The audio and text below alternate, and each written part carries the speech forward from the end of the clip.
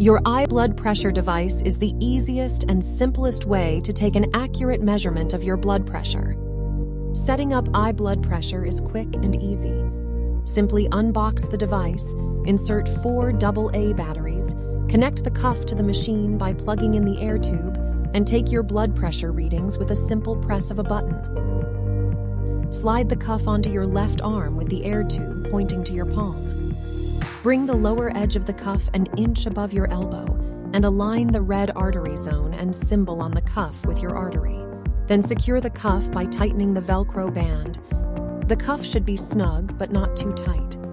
You should be able to fit one finger between the cuff and your arm. To ensure the most accurate readings, first, rest your arm at heart level. Next, sit up straight with proper posture. Make sure to keep your feet flat on the floor.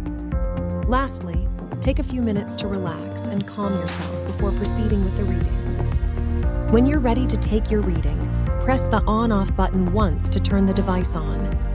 Then press the button again, and your iBloodPressure starts the measurement process by smoothly inflating the cuff. In under 60 seconds, your reading is finished, and the screen displays your systolic pressure, diastolic pressure, pulse rate, and the time of measurement.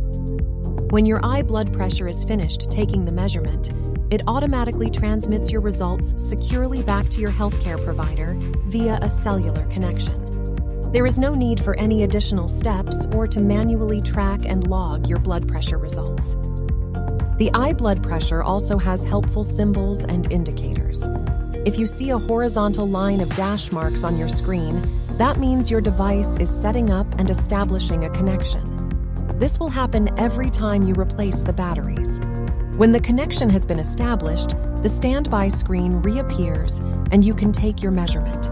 The screen will display the proper date and time and the cellular strength bar. When your reading is complete, the screen will display the systolic, diastolic, and pulse rate measurements with the date and time the measurement was taken.